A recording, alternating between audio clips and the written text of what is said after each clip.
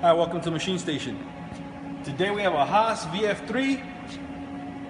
It's a little older machine, but it's actually very nice. It was used to cut plastic and wood. Kind of used as a router, I would say. Um, everything on it still sounds real good. The belt, the ball screws sound real healthy. Spindle sounds real good. It's a it's a 94, 15 horsepower high torque spindle. RS-232 ports for loading and downloading your programs. We have a 20 tool turret, umbrella type. It does have rigid tapping. Comes with a chip auger.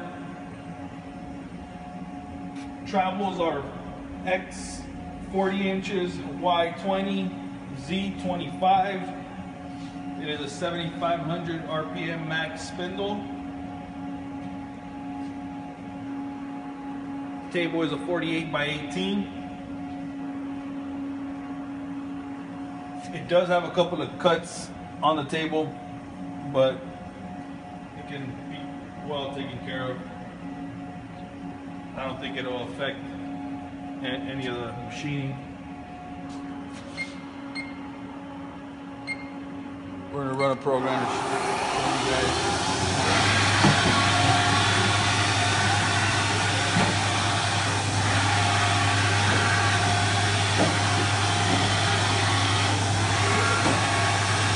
That is cutting at 7,500 RPM, and I have the rapid at 100%. So as you guys can hear, the ball screws, they sound real good. The spindle does as well.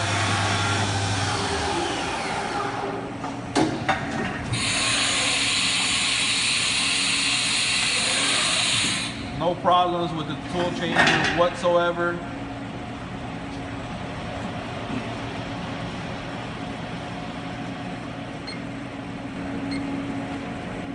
This machine is wired for fourth axis. It does have the plugs in the back, so it's pretty much ready to go.